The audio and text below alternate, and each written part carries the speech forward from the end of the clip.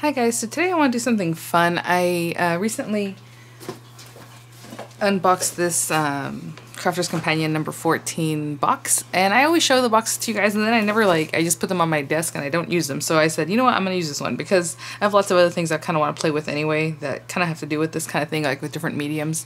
And maybe I'm just going to use, you know, ink or maybe I'll use some, I don't know, not gesso, but something like that, something nice and thick. I don't know, we'll see. But I am going to be using um, the stencils from this kit.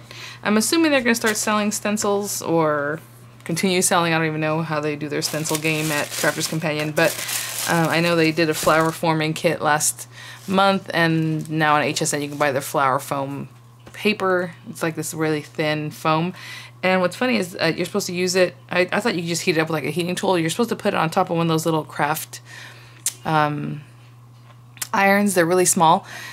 And I think I had a tulip one and it just didn't really work that great because it doesn't get that hot. So I returned it. And then when I went to Michael's to buy another one, like I couldn't find it just the other day. So I'm like, okay, I, I got to find one. But now I have to buy a flippin' little iron to uh, do that with. So, you know, there's different things that anyway, that come with that.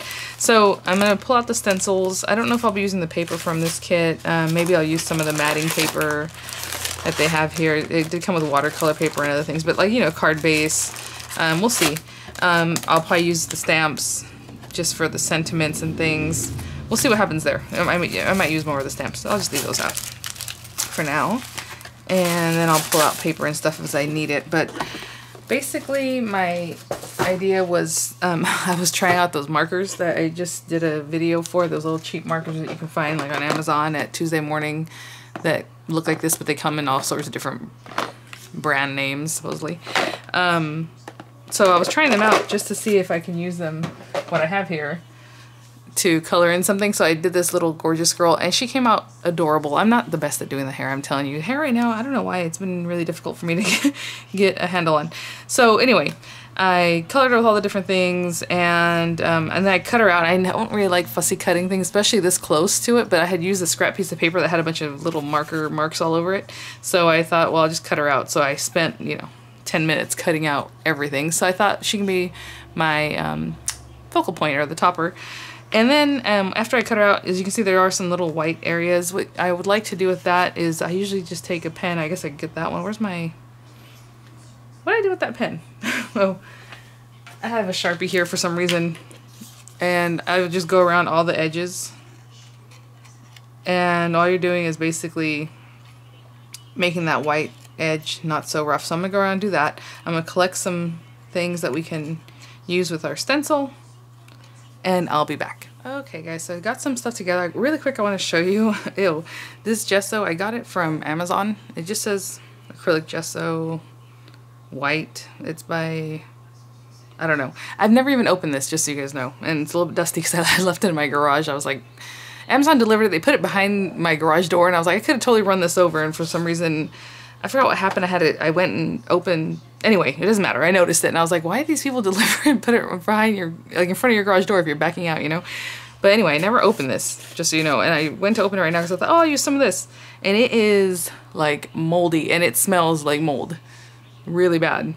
So I'm gonna throw this away, which I did. I threw it in the trash, but I thought, you know what, I'll show it to you guys just in case, because that is gross. And apparently I never had any kind of like lid, I don't know. And then um, to apply, you know, the gesso or those kind of things, I was looking at different pastes that I have. I was like, oh, you know, maybe I have one of those like plastic palette knives, which I didn't find, but I went through this little cute close to my heart box. I don't know if they still sell this, but this is their texture and um, create a shade. Well, no, that's the brushes, but it comes, it came, it's a little texture kit. It came with all these brushes. It has um, Ceramcoat, like thick paint to stuff. It has distressing inks. And then underneath, I was like, this thing's really good. It has all kinds of um, files and daubers and dabbers and stencil brushes, which is kind of what I needed. I thought that's kind of funny. And at the bottom, it has a ton of, I don't know what they are, some kind of plastic, I don't know. But it didn't have what I was looking for initially, but I guess I could use those stencil daubers, if, you know, if I wanted to. But I thought it was kind of cute. Very cute little kit. If they still sell it, you know, maybe want to look into it. But um, not using that, I just thought I'd show it to you guys. I just picked out some inks these are all the purple, not all the purple, but the purple inks that they sell, um, Spectrum Noir that like kind of go with each other.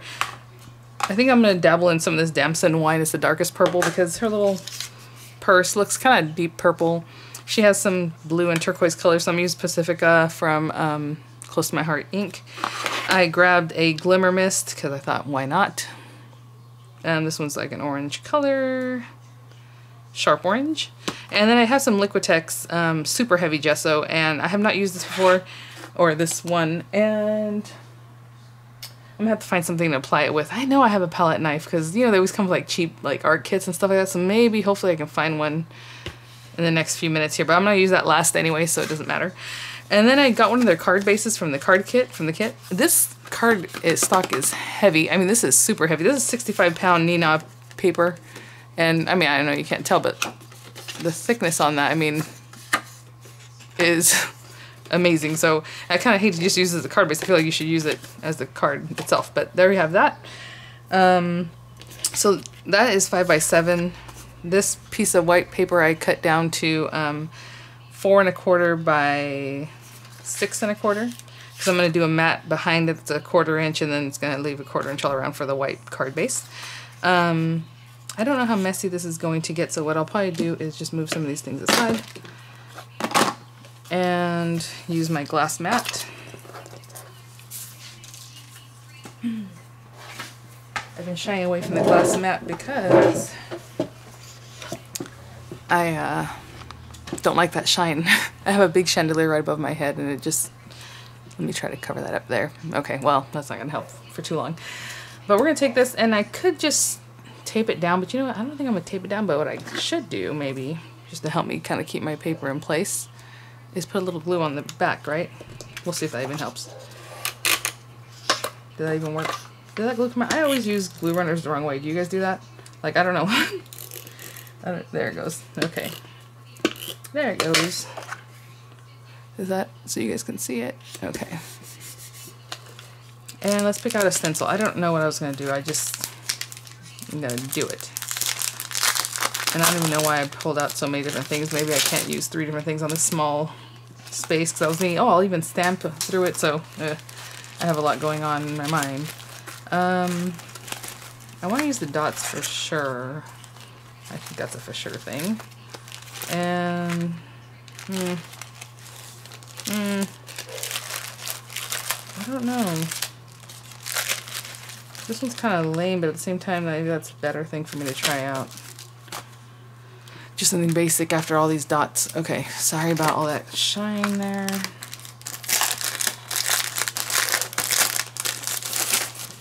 So yeah, I think what I'm gonna do is build this up a little bit. So, okay, we have our stencil. It's shiny on both sides, so I guess it doesn't matter which side goes down. This one looks like it's better.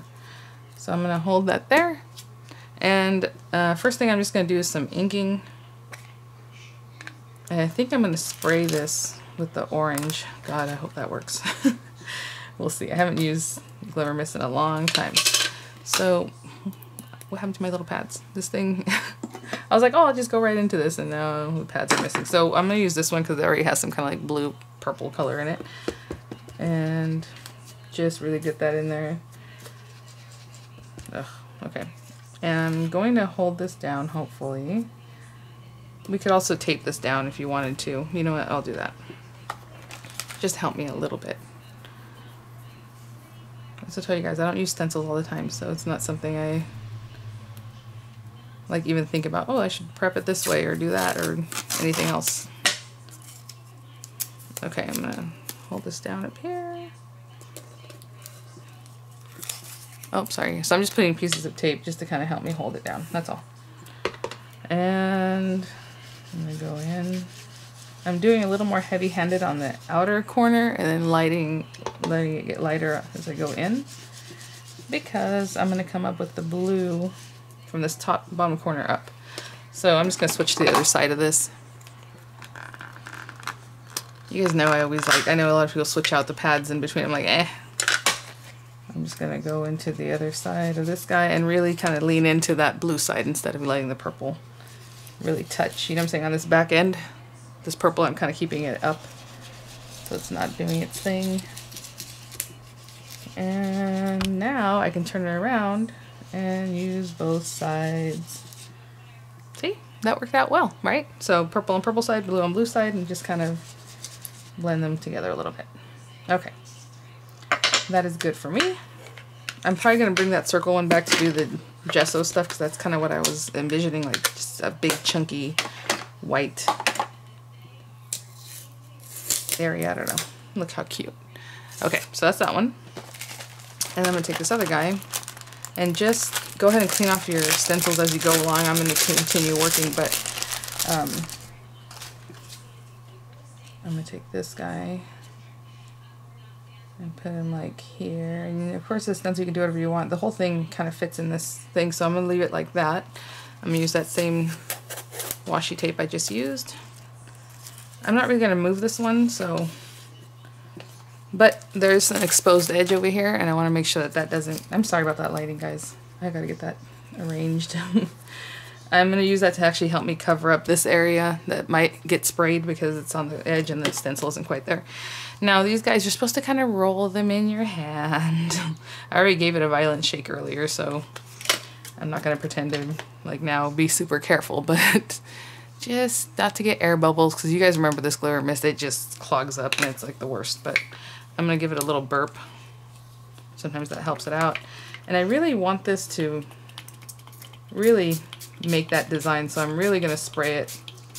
I don't want to get too soaked, but I do want the design to show up, right?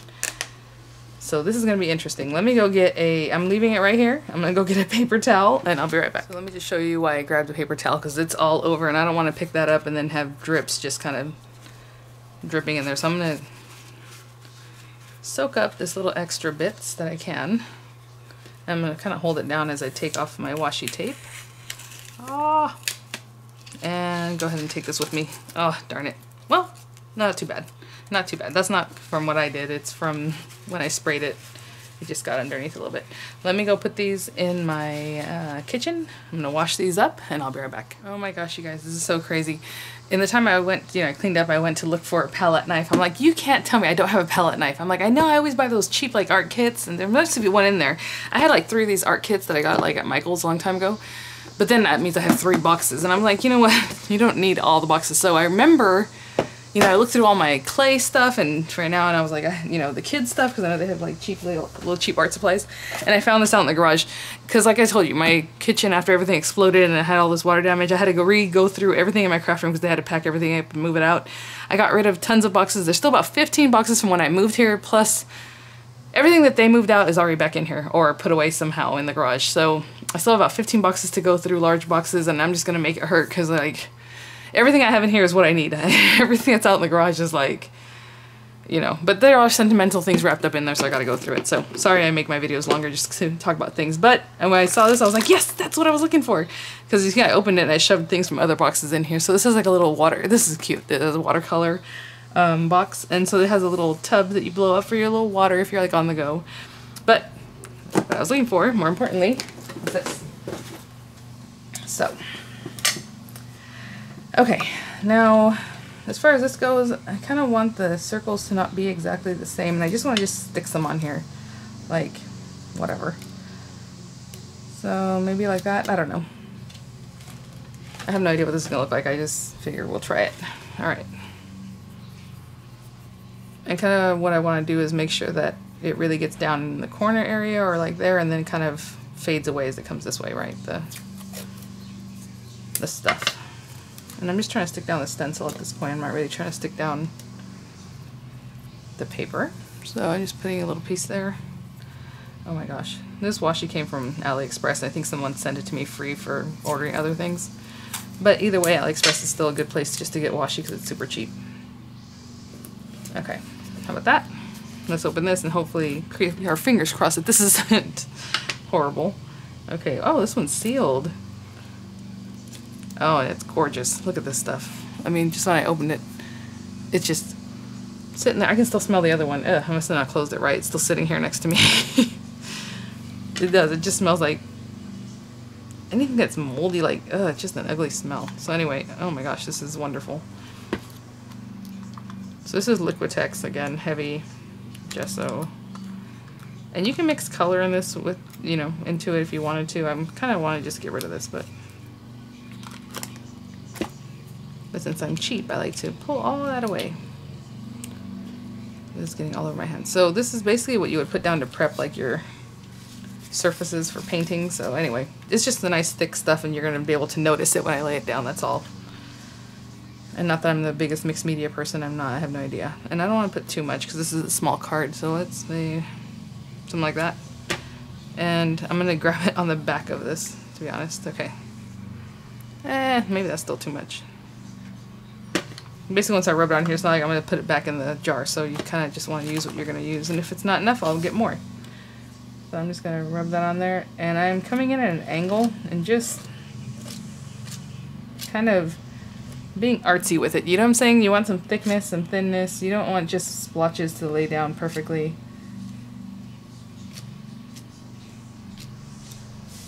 Does that work?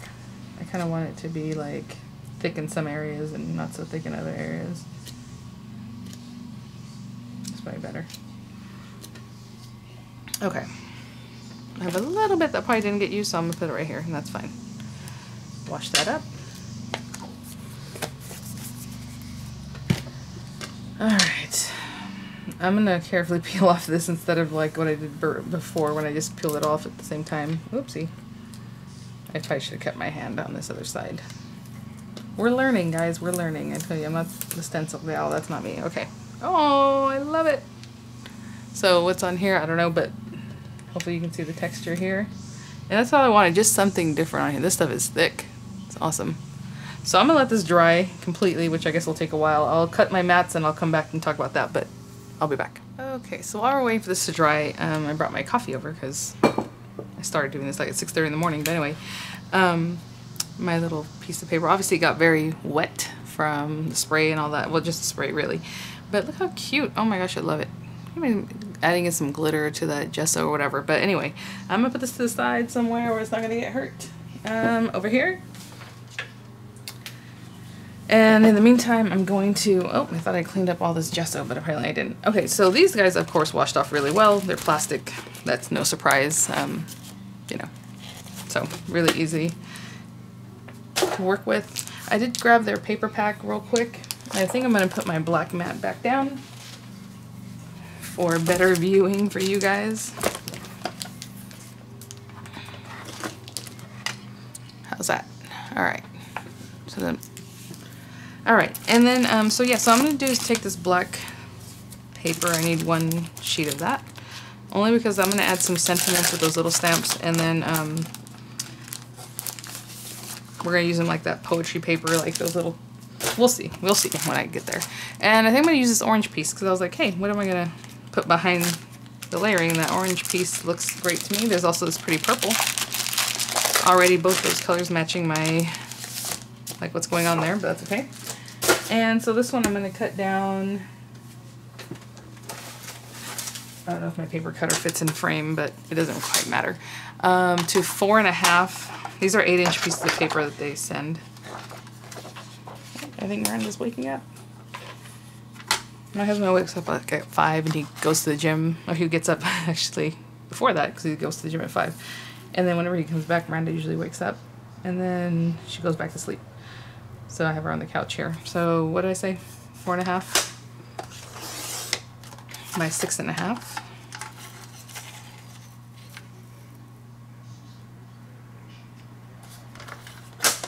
So that's just the layering piece I'm going to put behind. I'm only putting one layering piece behind. Put these to the side. And where is the rest of my paper? There it is. Should keep these to the side here. Keep my other little piece. And I was stamping on Neenah paper. I was doing all that stuff on that Neenah paper. 65 pound. 80 pound is better if you're going to be doing Copics and stuff like that. But the 65 pound paper is just fine for everything else. Um, so I'm going to do wishing you a beautiful day. May all your wishes come true. Sure, because I don't have anything else. Where's Daddy? He went to work. Let me get this set up. So I'm just going to take this one stamp that says may all your wishes come true. And I had seen that they did a card using some of these things and they um, the cover there and they cut it up. So what I'm going to do is just stamp that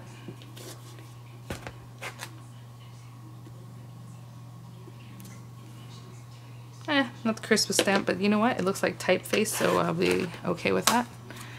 And you can cut this with your paper trimmer to be more exact. I'm going to cut it with scissors just to give it a more of a whimsical feel.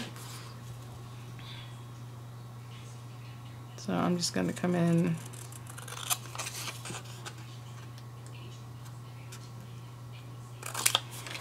And I do like that they did a little design with like a liner pen, which I might have just blown it because the way I cut it so small to each other.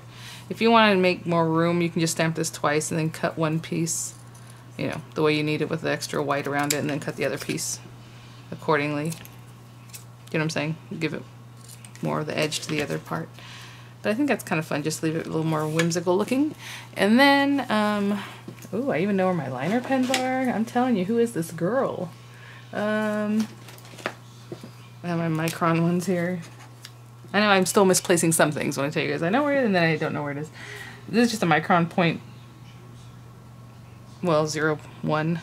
It's a small, very fine. Maybe I should have gone with a thicker line, but I'm just going to kind of go through and add some lines here and there, maybe some dots between whatever makes it look kind of cute and more original. And of course not perfect. Not what we're looking for right now. So do you see what I did there? Just put some lines on it. Boop. Okay, doesn't want to focus. There we go. And what I'm going to do with this is go ahead and glue it down to like a little piece of the black paper. And dare I use the same glue that I never know how to use? Hold on. Let me... Oh, I got it this time. Okay. Just ran some glue on the back of that. And we're just going to place it here. I'm going to place in the corner already just so that already has some less area to cut. This paper is really thick. What's up with that? This one's kind of thin because I guess it's their layering paper. And this one is nice and thick. But again, I'm just going to go through here and just trim that down. Again, you can use your paper cutter if you really want it to be like super exact right now. I'll do the same thing with the other, with the male your. And we have that. And I will be oh, back. Okay guys, so obviously that gesso's not dry yet. I'm gonna have to give it a few hours probably. So I'll probably come back in a little bit. I'm probably gonna go around the edges and just kind of darken it up. I don't know if I'm gonna use the blue or the purple or maybe blue on one side, purple on the other. That might be okay too, just to make the edges a little less stark. But I changed my mind. I am going to put a black mat on the back. And what's kind of interesting about this black paper, like I said, it's super thick, is one side's kind of shiny, the other side's kind of matte. I don't know if you can see that. I know it's probably hard to see. I can feel it. This side's super smooth and shiny. I'll probably have that side facing up. And I'm going to use this dreaded tool here, but it's not dreaded. Actually, I was going to say, I think I got this when um, those nice people sent it to me uh, to review uh, Diamond Press, the people that make the Diamond Press. Which is kind of interesting because that machine first came out with Crafter's Companion and then they stopped making it and I guess um, the Diamond Press people took it over. I don't know. But that's the name of it. Oh, and this card is kind of interesting because it opens... Oof, I don't know if that's a little bit more over this way and a little bit more up there. Oh. This is kind of why I don't do a lot of matte and layering because I always feel like I do it wrong. Um, but anyway, these cards open really the long way. So up this way or out this way, but it's a long fold. Or short. I don't know if that would be short or long. Okay, I'm to take our little orange paper. And the orange paper has the same coloring, I would say, on either side. And I'm probably to stick down the gessoed paper with a wet glue because I really want it to, like, stick down. But for right now, we're just doing this. Okay, and I will have to come back to complete it, but basically, we're to do that when this guy's nice and dry and has his little accent pieces, we're to put that here. We're to put her somewhere around here. And then the mayor Wishes Come True kind of popped up somewhere here and there. I think it's going to be adorable. So let's let it dry and we're almost done. Okay guys, I know this isn't 100% dry, but I kind of want to move on get going with the rest of the day. So um, I did matte with the black matte and then the orange matte. So they're basically all a quarter inch smaller than the five by seven, right? Five by seven, 6 and 3 quarter by 4 and 3 quarter then six and a half by four and a half, and then six and a quarter by four and a quarter, okay? And then as I was looking at it, I'm like, you know what, it would be cute if it was just off to a little angle, so I'm gonna do that. And um, put these other pieces down. I did go ahead and add a little more detail around the edges. And this might be weird. I'm going to use my Beacon 3-in-1. I love this glue. I totally forgot I love this glue, but my husband had some magnets that he got from South Korea the other day as we were going through all our stuff in the garage and he's like, oh, I want to put these up. I'm like, okay. And one of them fell right out of his hand. So I was like, oh, I have this stuff that will glue anything together, you know? So we used this and so I opened a new one because my other ones haven't used in so long. They were like not doing it. I just want to put a good amount of glue. This is an interesting glue. It does dry really fast, but it also has a very caustic smell. But, um, I don't know, I just like it. And it's good for things that are chunky. and So I'm going to hold this down for a little bit. See that? It's still wet there, I know that. So I'm going to be very careful as I go around these edges. But I do want to get it down and flat, so I will be right back. Okay, right while I was kind of drying, or I was flattening it out, I also put little tiny bits on the back of these guys.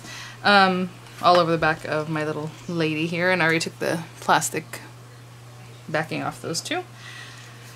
So let me bring this back. I don't, I don't know what I want to do with her. I don't want her to be straight because that just seems boring. And it's kind of like she's laying down, just so you know this time. She's like laying in a field of flowers or whatever, kind of watching the sky. So that's kind of where I want her. This is so cute. And then these little guys. And I think what I'll do is stick this down with the same 3-in-1 glue. I just kind of want to see how I want to do this because I want to do a little bit Okay, let me look at this straight again. If it was straight like this, then we have may all your wishes come true. Eh. Unless I do want to put them straight, but just kind of offset from each other. This is always hard for me to decide. Especially since I did the thing sideways. Hmm. This shouldn't take me this long to think about. I'm like, I don't know. Something like that.